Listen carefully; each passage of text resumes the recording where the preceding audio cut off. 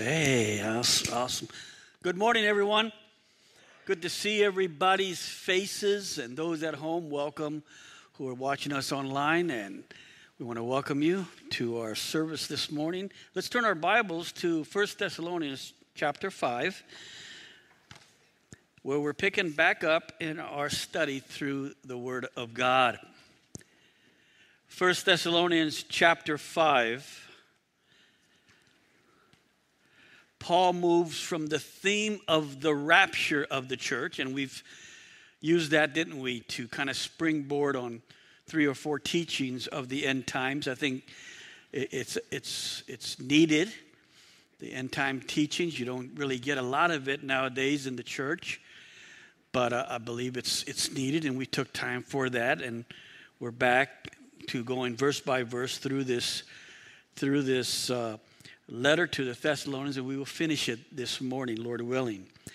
But now Paul comes back to earth, if I can say, after taking us from the earth uh, into the heavenlies, and, and the Bible, you know, explaining to us the yet future events. Paul brings us back to earth where the church is. And with that teaching, as he taught this young church, he expects them to have the, you know, the, the, uh, the heart and the uh, expectation of Christ coming even today, even in his day. That needed expectation as we walk, that motivation as we walk with the Lord, knowing he can come at any time. And even though we anticipate the return of Jesus for his church, and as her church makes herself ready, we're back on earth, speaking of the daily um, living here on the earth, living holy lives and committed, committed guys to grow, to grow in the Lord and to mature in His precious grace. So important for the church to do that. So he ends this letter with giving us really some practical exhortations. If you read ahead, you, you, you understand that. Uh, practical exhortations on the church's relationships. First, he'll speak in verses 12 to 13 about the church leaders. Then, 14 to 15, uh, your, your relationship with each other. Uh, 16 to 22, your relationship with the Lord. And 23 to 28, Paul's prayer and ending for the church. So, picking it up there in verse 12 of 1 Thessalonians 5, he says, And we urge you, brethren, to recognize those who labor among you and are over you in the Lord and admonish you. Notice leaders, pastors, elders who labor among you. We're the labor force, we're servant leaders. And are over you in the Lord and admonish you, and to esteem them very highly in love for their work's sake be at peace among yourselves. So here, Paul begins the topic of the church's relationship to the leadership, to the pastors, the elders, your ministry leaders. And he begins this topic of, of those who have been called by God to oversee the church. You know, Wiersbe says it's tragic when believers neglect or ignore the local church no family is perfect and no local church is perfect, but without family to protect and provide for him, a child would suffer and die. He says the child of God needs the church family if he is to grow and develop his gifts and serve God. Where are you going to utilize your gifts at? Where are you going to be serving God first and foremost? It should be at the church, the local church that God has called you to, that the Holy Spirit has you at. Many times people come and they visit us, and, and we're welcoming visitors, and, and sometimes they're coming to visit uh, to see where God would have them. They've moved into uh, to our city, they moved into our community, and, and many times I tell them, hey, listen, come a few times, see how we do it. Here's a gift bag, it has everything about us. Call for an appointment, we'll meet with you. Uh, if it's close enough, come to our uh, you know new uh, visitors, new believers, new, uh, excuse me, uh, uh members class. Uh, but, but, but be led by the Spirit, amen? Because where the Spirit leads you, the Spirit will use you. And, and we're not to come just to sit, we come to serve. Now, we have a six month, as you saw there, kind of a, a waiting period. That doesn't mean that you, you can't get involved in, in, in, in a fellowship, a men's group. It doesn't mean a woman's group. You can't come to activities and events here. That, that's not keeping you from that. But it's really giving you time to really ponder, praying on the Lord, seeking the Holy Spirit. Lord, is this where you want me? You know, there's a reason behind that. And believe me, when I say six months, man, I said, man, that's a long time. But it has worked for us. God has protected us. It protects us from anyone who wants to come and quickly get involved with children's ministry, eh, yet to have other, uh, another mindset of why they want to get involved with children's ministry or why they want to come into the church. There are wolves that come in, and six months they're, they're out. They're not here. They're gone. Uh, not everybody is a wolf, and not everybody has has, uh, you know, uh, uh, uh, wrong ideas. So don't, don't, don't think that. But it just protects us. But we need a local church. A podcast pastor will not go and visit you in the, in, in, in the hospital. A podcast pastor will not be with you through a funeral, cry with you, laugh with you, and be merry with you at a wedding. A podcast, a, a pastor or, or a teacher on film can't do that. We need you and you and you need the church. And I'm probably preaching to the choir, but you need to know that as well. In Galatians 3:28, Paul tells us as Christians we are all one in Christ, aren't we? We are all sheep of our good shepherd of his pasture. But it is the Holy Spirit who calls some, some of us who are sheep, to under shepherd his flock. We are the sheepdogs, if you would. We are those who are under shepherds. Uh, speaking of pastors and elders and such. Uh, Paul emphasized this in Acts 20 28 in talking to the elders at Ephesus. He said, Therefore, take heed to yourselves and to all the flock among which the Holy Spirit has made you overseers, to shepherd the church of God, which He purchased with His own blood. You didn't purchase it, He purchased it. Amen? And He went on to say, and even some of you, imagine that, looking at their eyes, says, are going to be wolves. Even some of you are going to take the credit as, as God uses you to plant a church and you see the church grow and you see people coming to the Lord and people involved, all of a sudden you get this, uh, uh, you know, this attitude as if you purchased the church.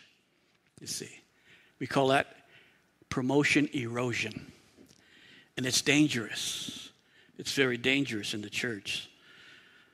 So, with the call upon the man of God to pastor over God's flock, what responsibilities do the local church have towards their spiritual leader? Well, Paul tells us. He tells us there as there in verse, uh, again, 12 and, and 13. He says, We urge you, that's we implore you. He says, We plead with you, we beg you, Paul is saying. Uh, eh, not command or demand, but we, we, we implore you. You see, the leader is not a dictator, nor the church a democracy, but it's a theocracy. What do I mean by that? God is in charge, as I just said. Jesus paid for the church. He planted the church he, by his blood. So we are a theocracy, guys. We're not a, you know, it's God who holds the franchise, if I can say it that way. He's over all the churches. And as a pastor, I'm under his charge. The leadership here, we're all under his charge. He says, We urge you, brethren, to recognize. That, that doesn't mean, oh, there's Pastor Mark, there's Pastor Matt, there's Elder Greg, or whatever. No, this word recognize, guys, means to know them, to acknowledge them, not just to point them out in a room. Eh, that word means to appreciate, to value, to value them. To value those who, notice, labor among you, those who are over you, Not only is this what the church should have a relationship with their leadership, but this is what the leadership should also be embracing and doing. We should be laboring. That word means to the point of exhaustion. Laboring in the Word of God, laboring in prayer, laboring in doctrine, laboring in counseling people, laboring in the business side. There is a business side to this. God gives us the responsibility to handle the tithes and offering that come in here. And such a temptation, isn't it, for many churches, many leadership fall because, again, they take it upon themselves to say, well, I, I, I'm in charge of this. Don't worry how I spend this money.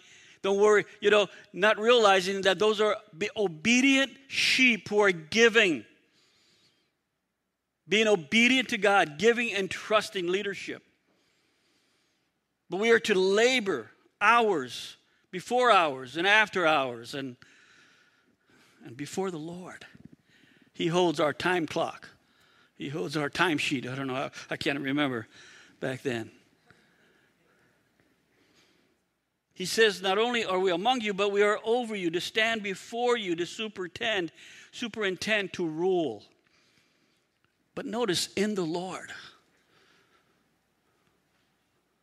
As the leaders among equals, again, we're all sheep.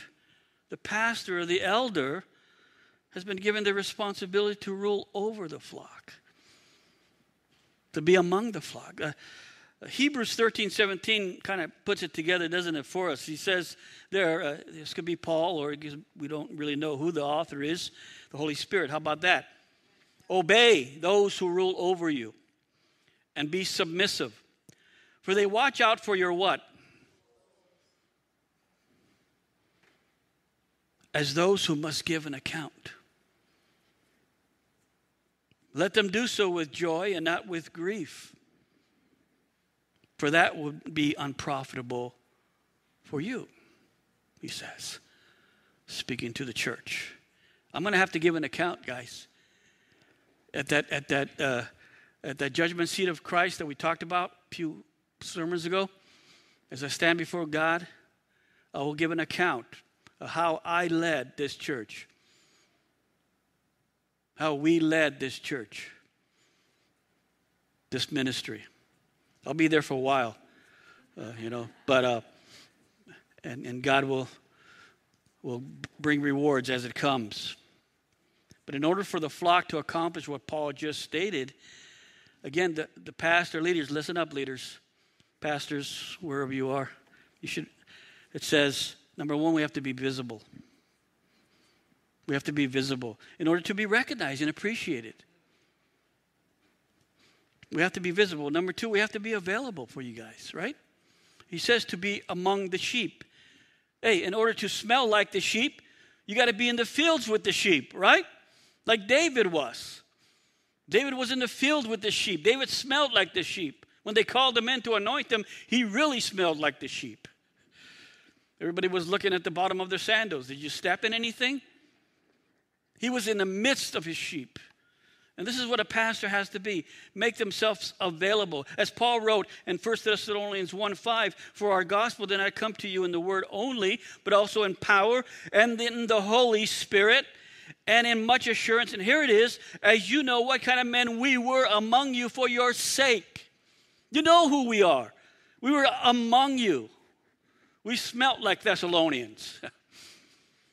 and then we got to be approachable, visible, available. Listen, some of you feel like you're being called to a higher authority in a sense of more leadership, more re- responsibilities. You got to be approachable. I hope I'm approachable. You know, I hope I don't give off some kind of odor or some kind of, you know, shield. Stay away from me. As pastors, we're called to stand before as watchmen over your souls, to rule and exhort as, uh, as the Lord would rule and exhort. And we are to be welcoming as Christ, our good shepherd, is. To have a shepherd's heart to know what that is, really is. And we, those of you that feel like you're called, men, you feel like you're called to a higher, to, to, to leadership, maybe God has a call. Hey, man, you better be broken. And you better have a fear of God. And you better be broken before the Lord. And you better love sheep. Not chihuahuas, but sheep. Before you come up and, and tell us and say, I really feel called, man. I feel maybe I want to plant something or plant another church. You better be broken. You better be ready. You better be ready to labor. You know, we're not out playing golf. Some of you think we are during the week. What do you guys do anyway during the week?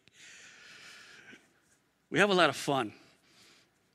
We're a family, but we diligently are laboring and reminding ourselves that we have souls that we're accounted to. Uh, That's why when people leave, it breaks my heart. I kind of chase after them. I go after them. Wait, wait, wait, whoa. Where are you going, man? It's not about numbers, it's about souls, guys. We all should have that. He says in 13, notice with me, and, and to esteem them. What does that mean? That means to respect them, regard them, honor them. You do that, guys, for us a, uh, a lot in, in praying for us, and we'll get to that. He says to esteem them very highly in love. The word is agape, for their work's sake. As pastors, uh, we know that we're made out of clay. We know we make mistakes. We know we may say things we maybe we shouldn't have said, and sometimes we even get into flesh. Can you believe that? We're like sheep, and we're before Him. And we should seek to follow God's will. And allowing, again, the Holy Spirit to rule and overrule all our decisions whether it's a business decision, whether it's a, a decision when we you have to confront somebody, or, or, or, or, any kinds of decision. Oh, Holy Spirit, rule over us. Is this what you want, God? Give us wisdom. Help us to lead, Lord.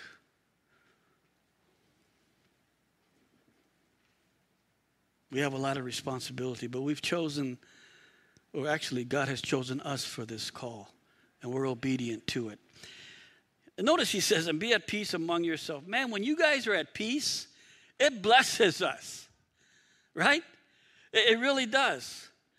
Such submission and recognition, again, know that word, what recognition means. Man, it brings peace in the church. It's wonderful, man. It's glorious. Yet in maintaining this peace among redeemed sinners, and that's what we are, there are those who are difficult within every flock. A sheep or ten that stray from biblical instruction and obedience. And again, that's another job of the leadership, the pastor. To go after them, to bring them in, to talk to them, to pray for them, to hear them out, and to guide them back to God's word and God's purpose for their life. Those that are discouraged, those that are weak, we uh, the sheep, the flock, the pen is filled with different types of people.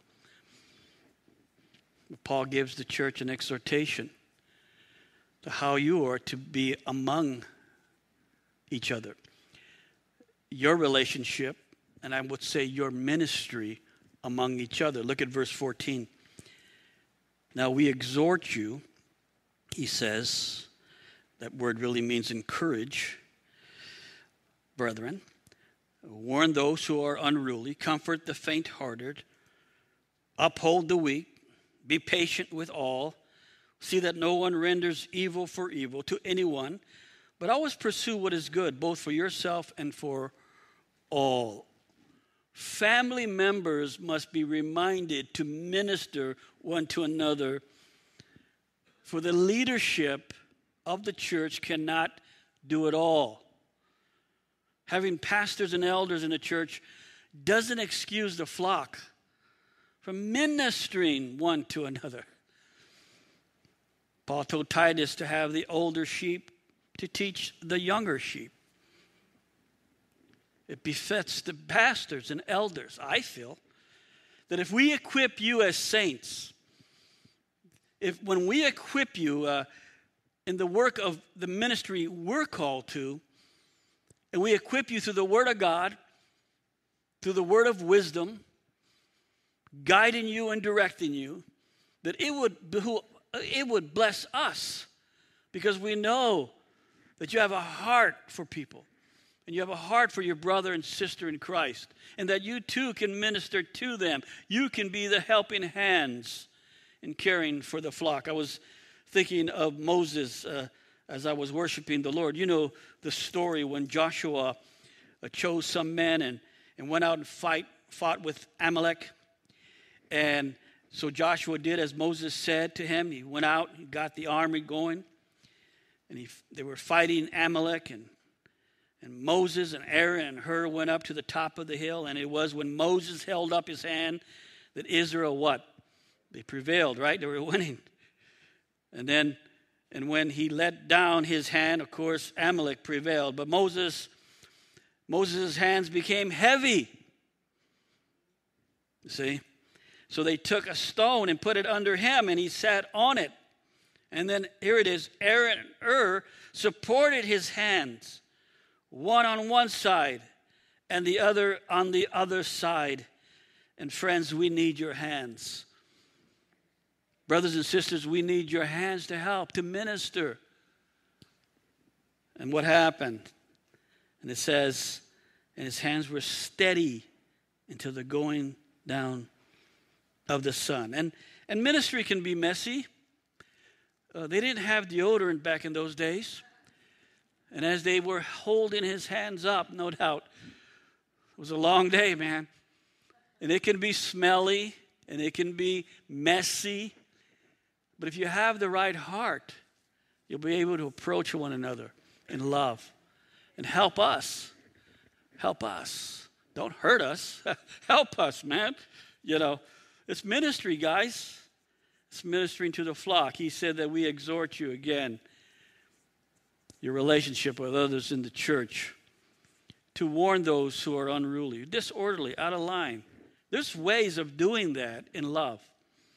We don't need drill sergeants.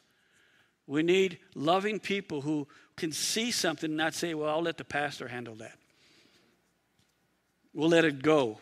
And we'll let the pastor just handle that or the elder. Or... It, it, unruly means, uh, you know, just out of order, out of ranks. If you hear that, it again, it, it will help you for your local church, for this church. If we go to one another and say, hey, man, what, what, why you got such an attitude? What, what, what's going on? And who knows what's behind that? Maybe they're going through something. But right now, they're, they're, they're backstabbing people or pa- talking bad about the pastor or talking bad about one of the elders or the leaders. You say, we shouldn't be doing that, brother, sister. These are the ones that bring grief to us. These are the ones that, that bring grief to the pastors when, when we hear about those things and we've got to deal with those things. And we're not afraid of dealing with them, please. But if, you, but if it can be done at the, among yourselves, that's even greater. That's even greater. Comfort, that means to come alongside. It's an interesting word, that word comfort. It means to come alongside, not only to come alongside, but to come alongside, if I can say, with, with, with speech, with the mouth, to encourage, to encourage with words. Really, that's the word is. To come alongside and encourage with words the faint hearted. Now we're dealing with the broken spirited brother or sister, the discouraged, the anxious, anxious sheep. And, and, and when you have a broken spirited sheep, a lot of times they, you know, they're just, they become, you know, they move out. They, they, they isolate, I guess the word can be. And it eventually you don't see them any longer. We need to reach out to those. We need to care for those. Uh, and some of you, you, you know each other closer than, than I know you. And we need to help those. Uphold the weak. That word means to help. Take tender care of not allowing the weak to fall. Uh, we've got a weak brother or we got a weak sister. We have those sheep that are without strength. They're struggling in their walk. They're weak in their faith, maybe. Maybe somebody is, is messing with their heart. Somebody's trying to pull them into their grips.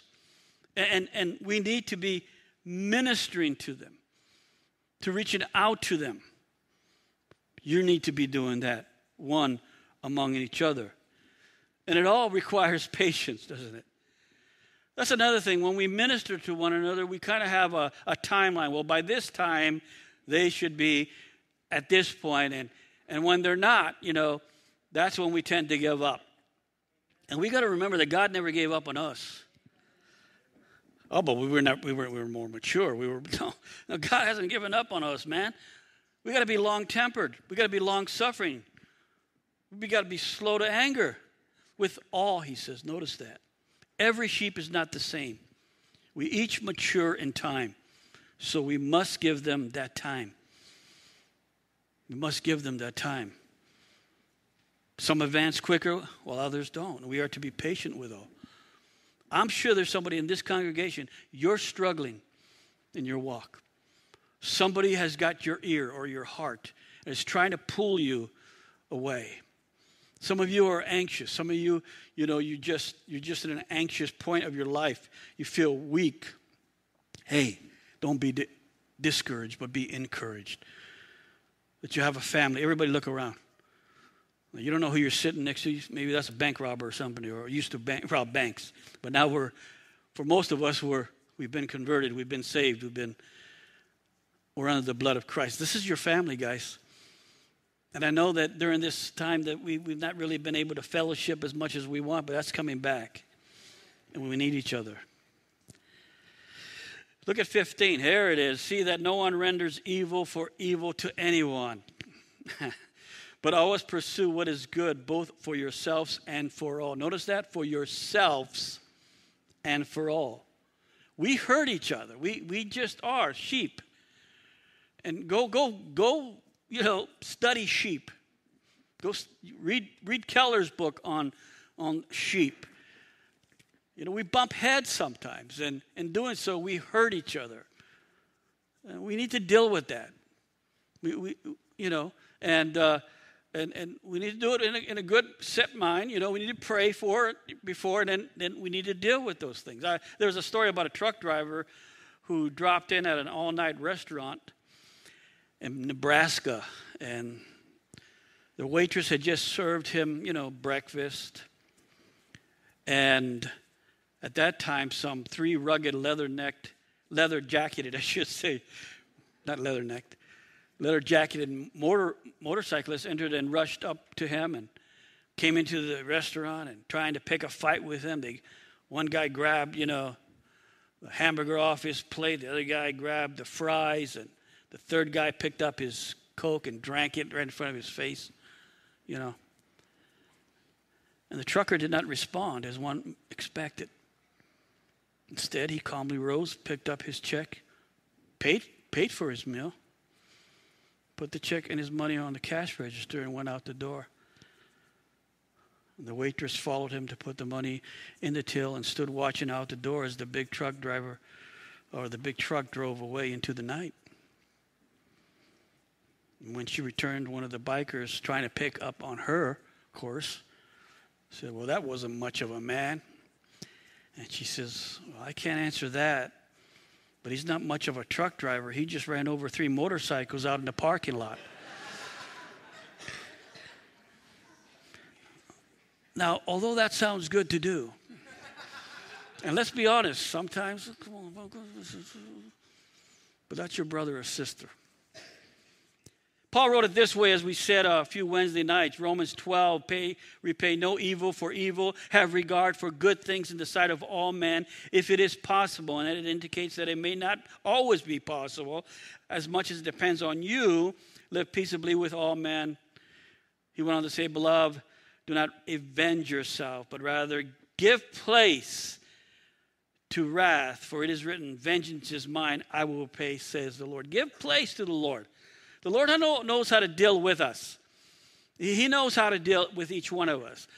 You're not, you're not the Lord. You make lousy Holy Spirits, as I say. You do what you need to do. You, you do it biblically, you, you do it in love. And if there needs to be any kind of wrath, any kind of discipline, let the Lord do that. The problem is we don't leave room for that. We get right into it, right? And we use the dagger of this tongue. And we lay them out, man. And at the end we say, and God bless you and have a nice day. That's not right. When we have a forgiving heart towards others, not only, he says, is it good for them, it is good for us. Because we're not allowing them to pay rent in our mind. And that messes us up, doesn't it? It really does, guys. So, no one renders evil for evil to anyone, but pursue what is good, both for yourself and for all. Again, guys, he's writing to a church that at this time is probably a year old. And he's teaching them some heavy things, but some needed things. Some needed things that need to be spoken. Now he, he, he in rapid fire, he, he speaks of uh, seven really personal exhortations in our walk with the Lord looking at verse 16. Uh, these are really rapid fire, as I put here, uh, exhortations. Rejoice always, pray without ceasing, and everything give thanks, for this is the will of God in Christ Jesus for you. Do not quench the spirit, do not despise prophecies, test all things, hold fast to what is good. Bang, bang, bang, bang, bang. Obtain, abstain from every form of evil. Joy as Paul begins this rapid fire in our walk with the Lord, our relationship with the Lord, I can say, joy is part of the fruit of the what? Of the Spirit, Galatians 5, right? It's part of the fruit of the Spirit. We may not be, uh, we may not always want to rejoice. I mean, when it comes to certain circumstances of life, but we can keep the joy. We can say it this way we can keep the, the, the, the lamp lit. We keep the lamp lit. That's why I wore this, man. We can keep that lamp lit. We can keep the joy candle lit as we know the Lord. And He is good. And these circumstances, listen, shall pass. They shall pass. Just think, no, don't think back, but some of the circumstances that we've gone through, the trials, the tribulations, current trials and tribulations. Got to hold on to Jesus. King David wrote Psalm 16 11, You will show me the path of life. Amen. And of course, it would come out of his loins through Jesus, who is the path, the way, the truth, and life. And I like this in your presence, and that's a present tense, by the way. In your presence is fullness of joy. In your presence, He's with us. And at your right hand are pleasures forevermore. That's future tense. That's hope for the future. Evermore, he says. Somebody said, In this life, our joy is mixed with sorrow like a thorn under the rose. Just came back from a, me and my wife went to a, a, memorial service for Pastor Dave Hanson and his wife passed away. And, you know, how do you deal with that? Because there's, uh, there's joy that she's with the Father, but there's grieving that she's no longer among us or with Him.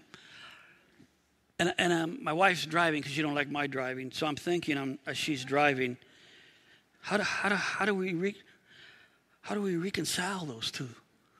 The grieving and the joy. And again, the Lord says, Well, you can't. That's why I'm here. Look to me. Let me reconcile him. Let me minister to you. Let me minister to Dave. Because you're not going to be able to reconcile both. Because death on earth is permanent for us, but eternal for those who've gone home to be with the Lord. There's grieving, but then there's joy. And we you see that. And we saw that yesterday. There's laughter over stories and then breaking down right after. And, you know, it breaks your heart for them. But let's enjoy the beauty of the rose, even though there's a thorn there that we've got to be careful with. Pray without ceasing. This is not the act, but the attitude of prayer. Sure, we are to pray, don't get me wrong. But this is simply having a running conversation with God. And guys, I'm telling you, I'm not seeing that. I'm not seeing people have a running conversation with God because if they did, there would be a fear of God and the activities that they involve themselves in and get caught in. Have a running conversation with God. Talk to Him throughout your day. He loves you, and He loves it when you call upon His name. He loves. I was at a, a, a conference Wednesday night, and you know, that, that, I never taught at another place on a on a on a night on a Wednesday night, and it was about my time to get up. I told Doris, "I'm not going up. I'm, that's it. I'm, I'm not going up. I'm not going up. I don't belong here." And uh, but she pushed me, so I had to go up. But through that time, I'm, I'm, I'm just talking to the Lord. He's, he's, he's my Savior, He's my God. He lives within me. So, God, you know, what am I doing here, Lord? Speak through me, God. You know, because it, it gets difficult sometimes. And everything give thanks, for this is the will of God in Christ Jesus for you. Now, this is everything, not of everything but in everything, because He's in with us. I, I, I don't uh, give thanks when the when the uh, you know the car engine blows up, but I give thanks that I wasn't in the car when it blew up. There are things that happen in life. There are issues in life. There are physical issues. There are mental issues. There are, uh, again, relational issues uh, that, that, that we're not we're not giving thanks for that, but we give thanks in everything. Notice he said, in everything give thanks. Because thankfulness, guys, is an expression of faith. Thankfulness is an expression of faith. Paul says, give thanks to your God. And he says, do not quench the spirit. That means to suppress, to, ex- to extinguish the spirit. He says, it says putting out of a flame.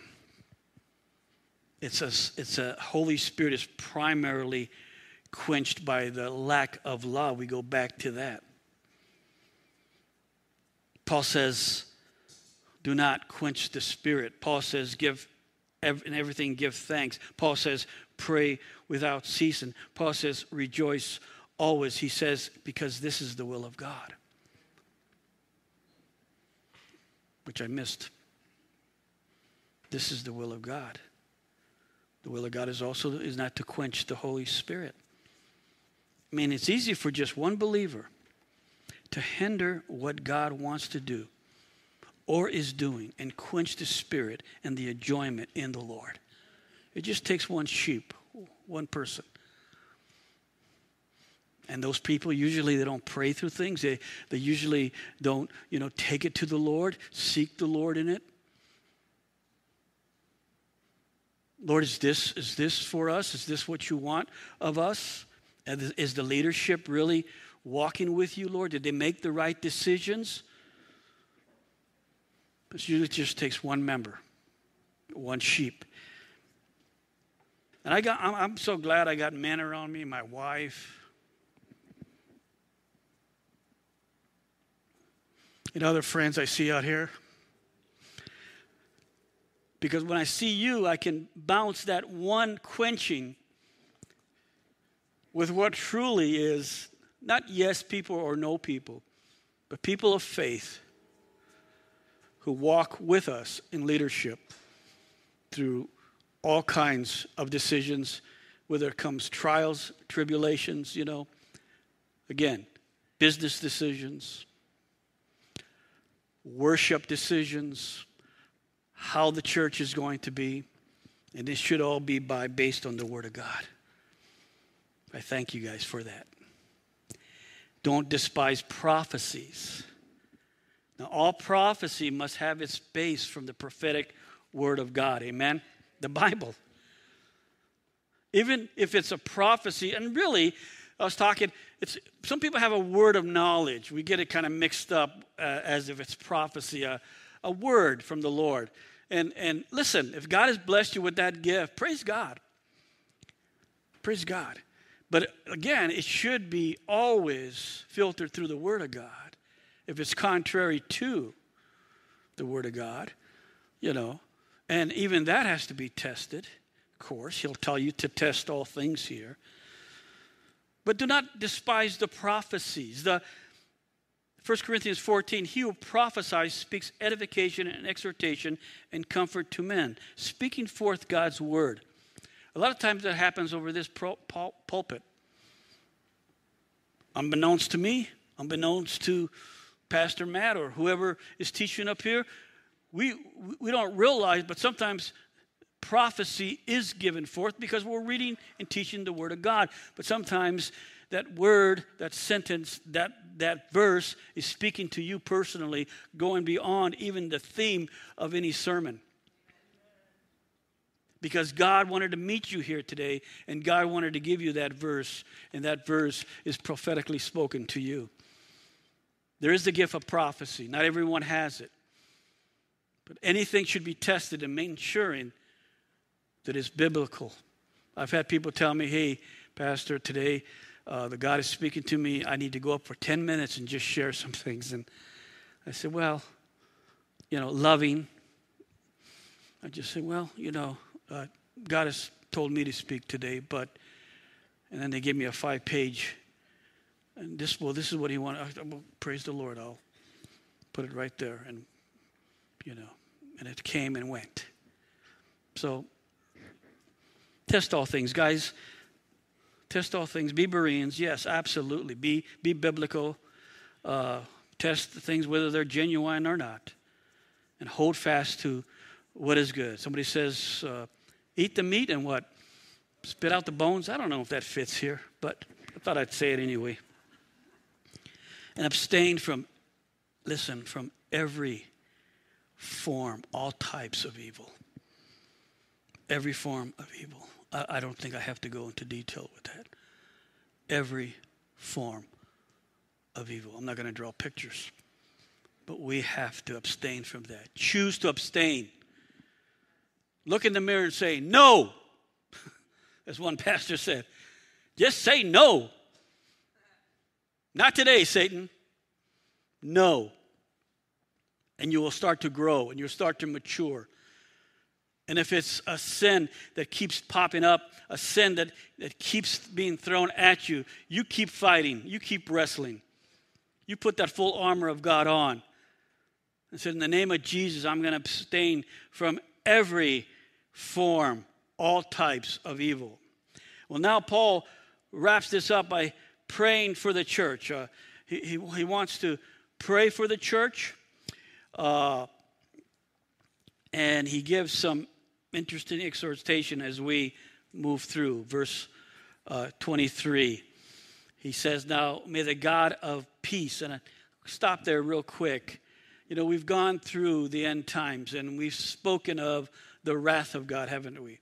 The great white throne judgment of God.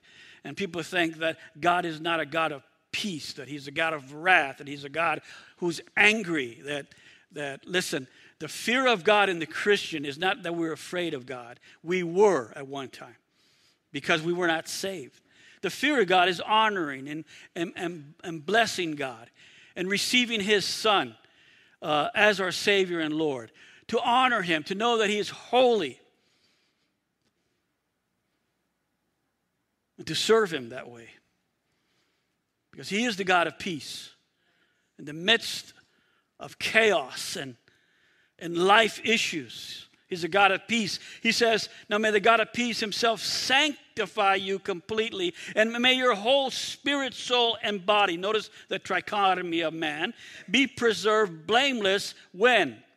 at the coming of our Lord Jesus Christ. Paul, why do you keep coming back to that?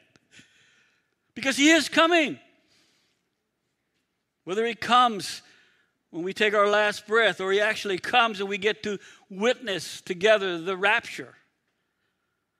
It's the theme of this letter, guys. It's the theme of this letter, the coming of the Lord Jesus Christ. And it's the motivation for holiness. He who calls you, that is the God of peace, who calls you, is faithful, who also will do it. That is, he will sanctify you completely. Stop wrestling with him. Stop fighting Stop clinging to the worldly things. Allow the Holy Spirit to sanctify you completely to the end unto the coming of the Lord. Once we are justified by the blood of Christ, we are sanctified, meaning we are set apart, right? We are holy unto God. That's the, that's the fear of God, realizing that He has made me holy. He has sanctified me. He has justified me. He has saved me. Why wouldn't we want to honor Him and obey Him?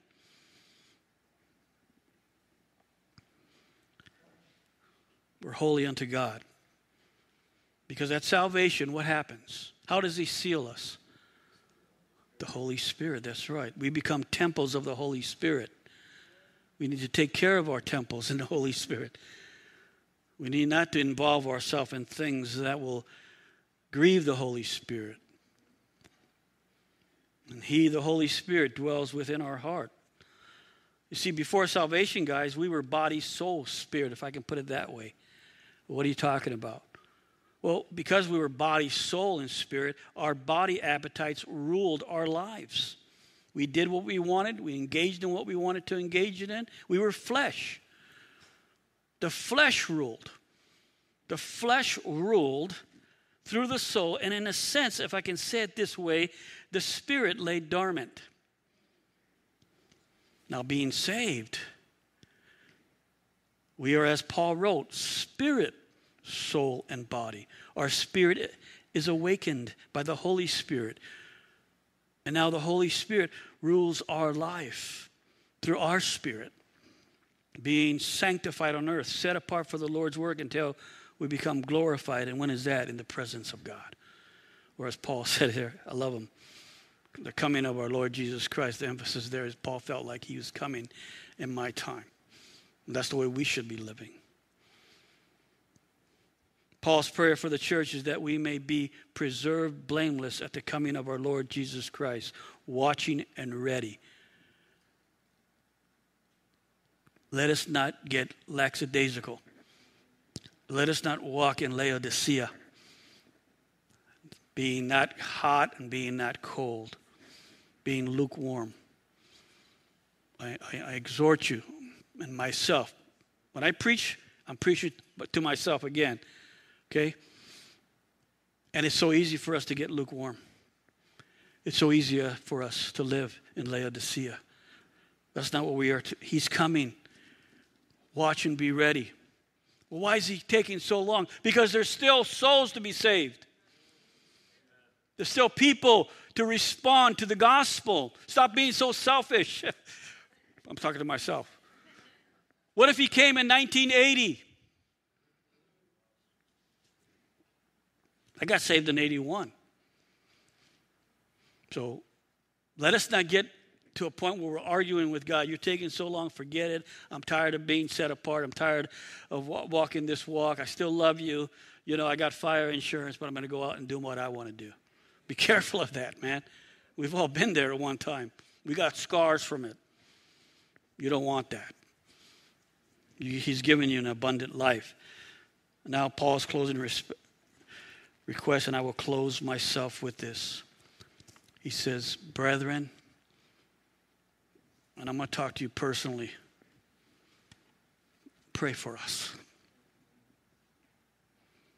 Paul's asking this church, just a year old, man, pray for us. The key thing you can do for your leadership here at Calvary Chapel is pray for us. And I know you guys are, man things that are that befront things that come before us personally as a team. Man i know you guys are praying because we, we're discernful. We're able to see it. We're able to to call it. We're able to to be blessed. And then we're able to protect. So pray for us okay? You say, Pastor, how can we pray for you? How can we pray for your team? The same way you would want someone to pray for you. Say you're struggling with something? Pray for me in that. I'm a man like you. You say you get anger over certain things, or you, hey, pray for me in that as well. I'm flesh, man. I'm a sheep. Pray for us. Anyway, and grieve, not grieve, but receive joyfully, says all the brethren, with a holy kiss. Now, we'll do holy handshakes when we can. And we'll do one of these, you know, kind of love you, man, but, you know, kind of deals. Singles, that doesn't give you a right to go up and kiss. So, so if I see some slap marks, then I warned you. No.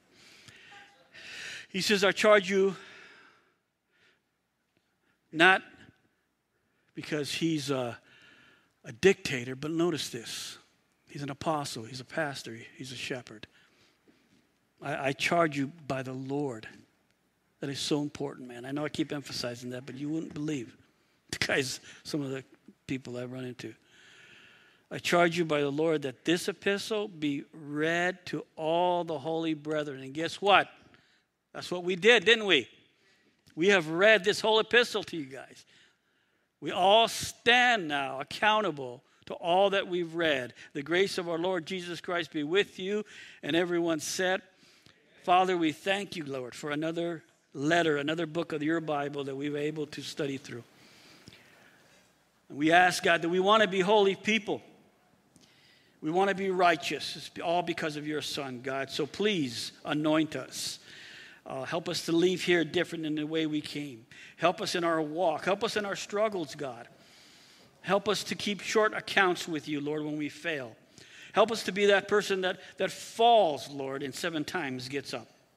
Help us, Lord God, to be uh, a congregation of your word, uh, those who reach out to one another, but God, mainly, Lord, uh, those who love God like you love.